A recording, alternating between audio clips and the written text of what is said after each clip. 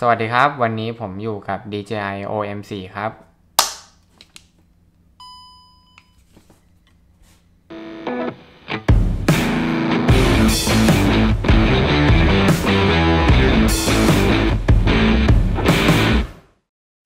ครับผมต้องบอกก่อนนะครับ ผมเนี่ยเป็นคนที่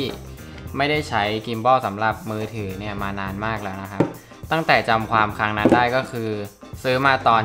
ที่เขายังทำใหม่ๆอยู่นะครับ เป็นรุ่นของ Kickstarter อะไรพวกเนี้ย DJI พวกนี้ยังไม่มีทำนะครับ ซึ่งตอนนั้นซื้อมาประมาณ 8,000 กว่าบาท ซึ่งแพงมาก ๆ ถ้าเทียบกับสมัยนี้นะครับ ที่ออกแบบมาได้ดีมาก แล้วก็เทคโนโลยีที่แบบครบครัน ใช้ง่ายนะครับ เพราะว่ารุ่นนี้มันเป็นรุ่นแม่เหล็กด้วย ผมเห็นโฆษณาครั้งแรกแล้วแบบมันไม่ต้อง balance ด้วย แล้วก็สามารถแบกโทรศัพท์ที่น้ำหนักเยอะๆได้เหมือนกันนะครับครับผมและรุ่นนี้นะครับก็เลยเป็นรุ่นที่ผมเนี่ยสนใจมากๆเลยทีเดียวนะครับครับผมสำหรับอุปกรณ์ในกล่องนะครับ ก็จะมีมาให้ตัวกิมบอลนะครับที่มีน้ำหนักแค่เพียง 390 กรัมเท่านั้นนะครับสำหรับผู้หญิงที่จะซื้อไปเล่นเนี่ยถือว่าเป็นกิมบอลที่เบามากๆ แล้วก็น่าจะถือได้นานนะครับ อ่าอย่างต่อไปนะครับก็คือตัวริงที่เอาไว้ติดข้างหลังโทรศัพท์นะครับ แล้วเขาก็มีไกด์ไลน์มาเรียบร้อย วิธีการติดนะครับก็คือ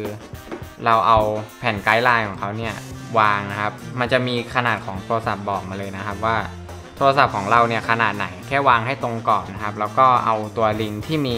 กาว 3M อยู่แล้วเนี่ยไปแปะตรงกลางนะครับ ก็จะทำให้เราเนี่ย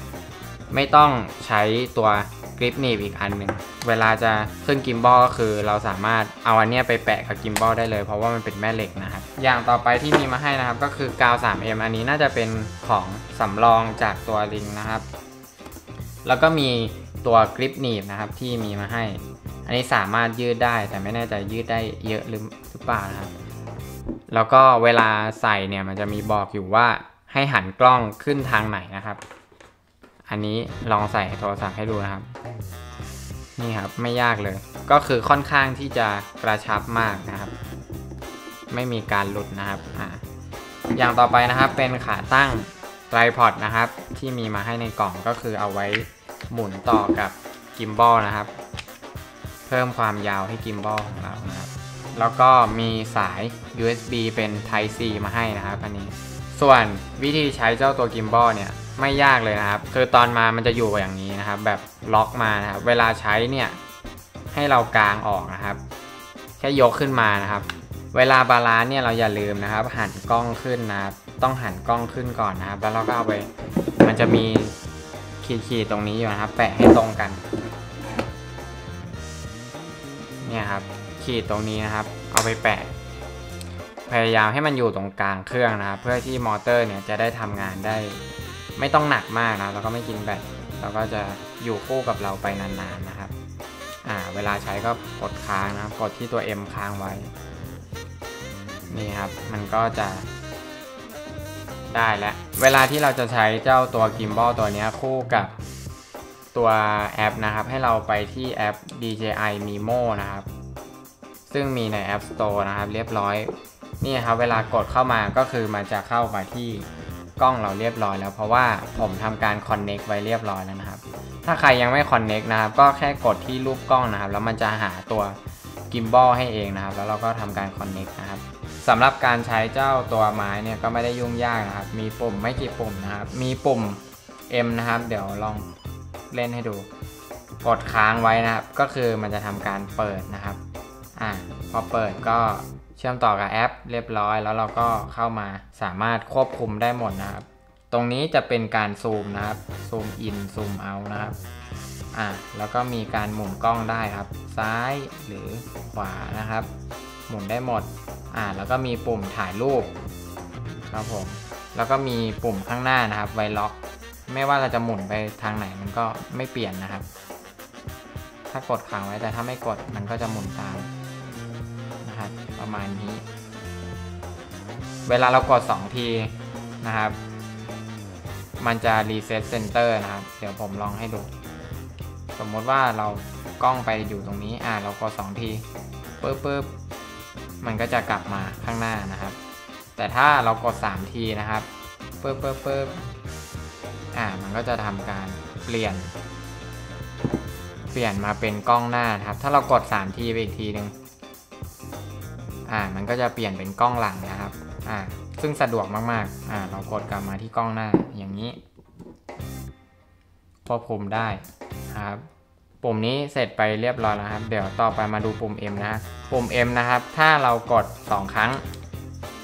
มันจะเปลี่ยนเป็นแนวนอนนะครับ ถ้าเรากดอีก 2 ครั้งมันก็จะกลับเป็นแนวตั้งนะครับ ให้เรากดไปที่จุด 3 จุดนะครับ แล้วก็ไปที่ตัวกล้องนะครับ ตอนนี้มันก็จะมีโหมดให้เลือกอยู่ ตรงที่รูปกล้องเนี่ยมันจะมีโหมดให้เลือกอยู่นะครับ ให้เราจิ้มไปที่ตรง follow mode อะมันจะมีโหมดมาให้ 1 2 3 4 นะครับ จะมี follow mode ก็คือเราหันไปทางไหนมันก็จะ follow ตามนะครับ เสยขึ้นเอาลงอะไรเงี้ยมันก็ follow หมด อ่าต่อไปเป็น tilt lock mode นะครับ โหมดนี้ทำให้เราทิวไม่ได้นะครับ มันจะล็อกล็อกทิวไปเลยแต่เรายังแพนได้อยู่ อันนี้คือ ทิวล็อกนะครับเห็นไหมแต่ follow นี่คือ follow ได้ก็คือทิวได้เหมือนกัน ต่อไป FPV นะครับ อันนี้ก็จะดูแบบรุนแรงนิดนึงนะครับ ก็คือมันจะไปไหนไปด้วยครับเขาเรียกว่าอะไรมันจะไม่เหมือน follow mode นะครับ ที่แบบหมุนช้าๆ แล้วไป FPV นี่คือมันฟึบฟับมาก โหมดต่อไปนะครับ เป็นโหมด spin shot อันอันนี้เด็ดครับ อันนี้เด็ดโหมด spin shot นะครับ จะคล้ายๆโหมด follow อยู่แต่มันจะควบคุมแกนนี้ได้แล้วนะครับ ก็คือจะหมุนหมุนได้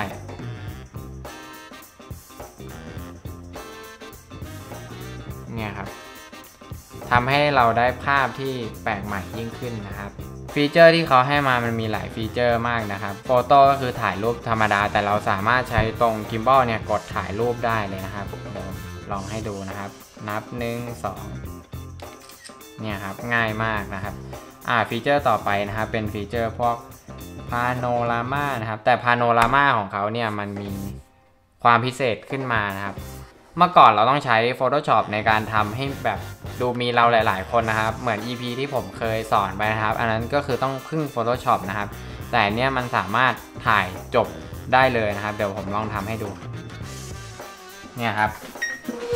เราก็ต้องไปรอตามสถาน เนี่ยครับ อ่า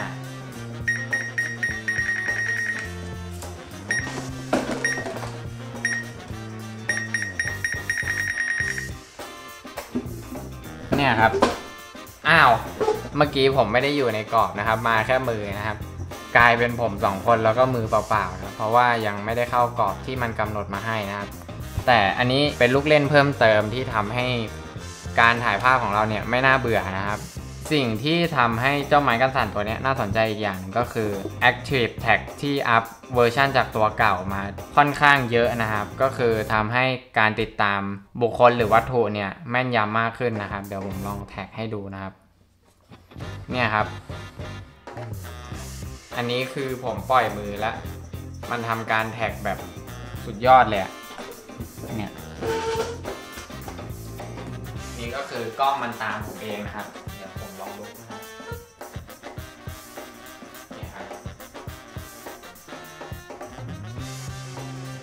ครับ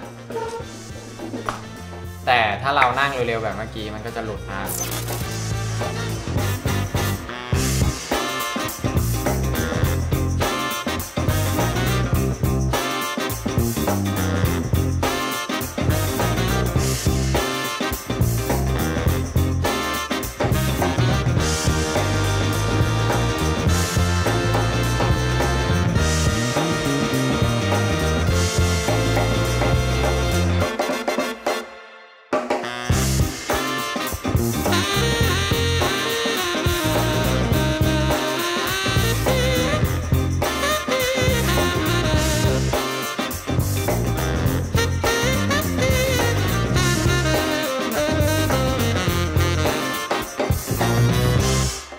แล้วผมลืมบอกอย่างหนึ่งนะครับสำหรับเจ้าตัวเนี้ยการชาร์จครั้งหนึ่งนะครับ มันอยู่ได้ถึง 15 ชั่วโมง ซึ่งเพียงพอต่อการใช้งาน 1 วันเต็มๆเลยนะครับ หรือคือ 15 ชั่วโมงอะใช้จนเปื่อยเลยนะครับกว่าแบตจะหมด ฟีเจอร์ต่อไปนะครับ เป็นฟีเจอร์ที่ชื่อว่า slow motion นะครับ ซึ่ง slow 8 เท่านะครับ ซึ่งผมก็ได้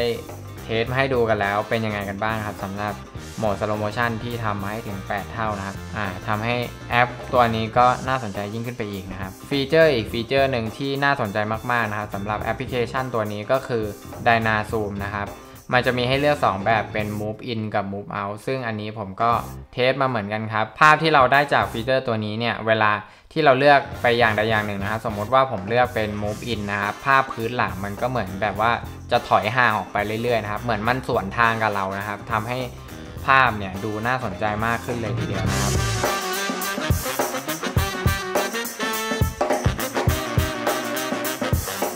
และฟีเจอร์ถัดไปนะครับก็เป็นฟีเจอร์ Time Lapse นะครับก็คือธรรมดาไม่มีอะไรมากแต่ ก็นะถ้าเรามีไม้กิมบอลเงี้ยเราตั้งขา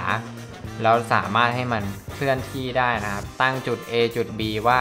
เริ่มตรงนี้จะให้ไปจบที่ไหนก็ได้นะครับ ก็ดีกว่าเราตั้งไว้นิ่งๆนะครับอ่าแล้วก็มีเด่นๆ อีกอันหนึ่งก็คือ Hyperlapse นะครับ Hyperlapse ทุกท่านก็คงเคยเล่นไปแล้วนะครับ ไม่ว่าจะทำในกล้องพวก mirrorless ก็ทำได้นะครับ เวลาเราทำในไม้ gimbal เนี่ยมันก็จะสะดวกกว่านะครับ ก็คือเดินไปเลยแล้วเราก็มันก็จะถ่ายให้อัตโนมัตินะครับมันจะเหมือนกรอภาพเร็วๆอะไรเงี้ยมันมีฟีเจอร์อีกฟีเจอร์หนึ่งที่ทำให้ตัวไม้ gimbal เนี่ยน่าสนใจมากขึ้นเลยทีเดียวแล้วผมรู้สึกว่าเออ ใช้ไม้ตัวนี้แล้วรู้สึกสนุกกับมันมากเลยนะครับ ก็คือโหมด story นะครับ โหมด story นะครับ มันจะทำการรวบรวมคลิปที่เราถ่ายเนี่ยออกมาเป็นแบบวิดีโอแบบสำเร็จรูปแล้ว ก็คือมีเทมเพลตมาให้หลายเทมเพลตอยู่นะครับ แล้วก็มีเพลงมาให้ด้วย มันจะเลือก transition ให้อัตโนมัตินะครับ หรือว่าเราจะทำการ custom เองก็ได้นะครับ เวลาเรากด start ไปนะครับ มันก็จะขึ้นเวลามาให้ถ่ายแบบ ฟุตนี้เราต้องถ่ายกี่วินะครับ คือมันกำหนดมาให้หมดเลย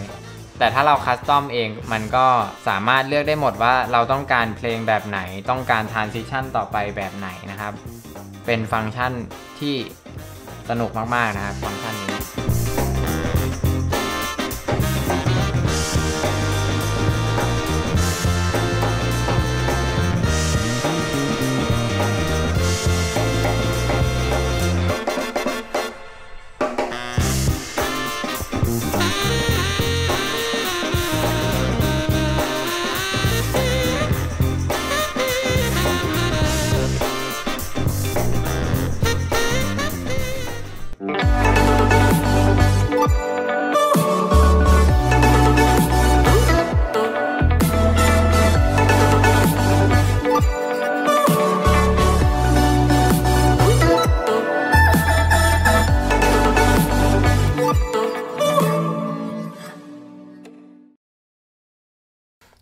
ครับผมถ้าถามว่าไม้กันสั่นตัวนี้นิ่งมากแค่ไหนนะครับ ก็ต้องบอกว่าไม้กันสั่นตัวนี้ทำออกมาได้ดีมากๆนะครับ หลังจากที่ผมได้ไปทำการเทสทดลองถือไม้ตัวนี้แล้วก็วิ่งไปด้วยนะครับแสบตามาก เดี๋ยวเรามาลองวิ่งกันดีกว่าว่าจะเป็นยังไงนะครับ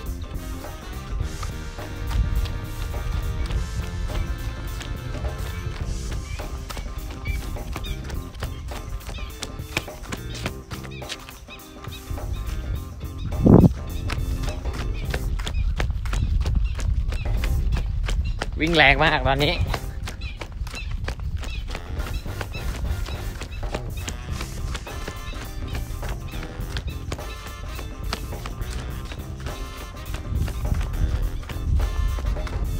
ฟุตที่ได้ก็ประมาณภาพที่ทุกๆคนเห็นกันเลยนะครับ เป็นยังไงครับ ลองตัดสินใจกันดูนะครับ และฟีเจอร์นี้นะครับที่ผู้หญิงน่าจะชอบกันนะครับ ก็คือฟีเจอร์ทำหน้าเนียนนะครับ เปิด เราทำการจิ้มหนึ่งทีที่ตัวรูปหน้านะครับ แล้วเราก็เปิด on มันนะครับอะสมมติผม auto นะครับ หน้าผมก็จะดูเนียนขึ้นมาทันที จะปรับให้หน้าเรียวหน้าเล็ก ให้ผิวเนียนขึ้นมาเท่าไหร่ก็ได้นะครับ โหมดนี้ก็ เป็นโหมดสำหรับผู้หญิงที่แบบ อ่า ถ้าไปถือถ่าย vlog อย่างเงี้ย ก็คงสะดวกไม่เบาเลยนะครับ อีกฟีเจอร์หนึ่งนะครับที่ดีเหมือนกันนะครับ ก็คือการใช้สัญลักษณ์มือในการสั่งการนะครับ ให้เราไปกดที่รูปมือนะครับ แล้วก็กดเปิดมันเลยนะครับ อ่า แล้วเดี๋ยวผม มันจะมีให้เลือกว่า follow and shoot นะครับ หรือว่าจะให้ shoot only ก็คือถ่ายอย่างเดียว หรือว่าจะให้ follow ด้วยนะครับ เดี๋ยวผมลองดูนะครับ นี่ครับ อ่า มันก็ทำการจับนะครับอ่า follow อ่าเวลาเราจะไลฟ์สดอย่างเงี้ยเราก็ไม่ต้องเดินไปกดกล้องให้ลำบากเลยนะครับเนี่ยครับอ่า follow ไปด้วยนะครับ เวลาเราจะสั่งหยุดเราก็แค่ทำเหมือนเดิมครับอ่ามันก็ทำการหยุดซึ่งเป็นฟีเจอร์ที่เจ๋งมากๆครับ แล้วผมลืมบอกอีกอย่างหนึ่งนะครับ ถ้าเราใช้โหมด Spin Shot อยู่เนี่ย เราจะไม่สามารถทำการ track ใบหน้าได้นะครับ มันไม่ support นะครับ เราต้องไปเปลี่ยนกลับเป็นโหมด Follow นะครับ อ่าลอง Follow อ่า Follow เราจะทำการแท็กได้เหมือนเดิมนะครับ แต่ถ้าเป็นโหมดเมื่อกี้คือไม่ได้นะครับ เป็นยังไงกันบ้างครับสำหรับเจ้า DJI OM4 ตัวนี้นะครับสำหรับผมคิดว่ามันเป็นกิมบอลที่คุ้มค่ามาก ๆ ถ้าเทียบกับตอนที่ผมซื้อนะครับครับผมราคาตัวนี้นะครับอยู่ที่ 4,490 บาทเท่านั้นเองนะครับ ฟีเจอร์ตัวเนี้ย ให้มาหลากหลายนะครับ ผมว่าเหมาะกับผู้หญิงนะที่ต้องการทำไลฟ์สดนะครับ หรือว่าขายเสื้อผ้าไลฟ์ขายของ หรือว่าจะเป็นสายท่องเที่ยวนะครับ ก็เหมาะอีกเช่นกัน หรือว่าจะเดินเล่นถ่ายไลฟ์สไตล์นะครับ เป็น gimbal เนี่ยที่ทำให้เราเนี่ย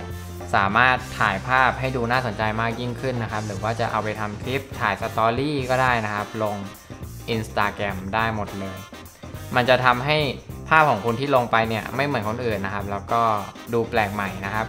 สุดท้ายนี้นะครับผมก็ต้องขอขอบคุณร้าน Gadget Play ด้วยนะครับ ที่ส่งของดีๆ แบบนี้มาให้ลองเล่นกันนะครับผมชอบมากๆเลยนะครับ ตัวนี้